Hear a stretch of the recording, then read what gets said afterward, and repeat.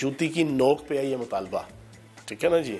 پانچ سال انشاءاللہ پورے تز کو احتشام کے ساتھ، پورے روب اور دبدبے کے ساتھ، پورے آئین اور قانون کے ساتھ، پوری عزت اور وقار کے ساتھ انشاءاللہ عمران خان صاحب اپنے پورے کریں گے۔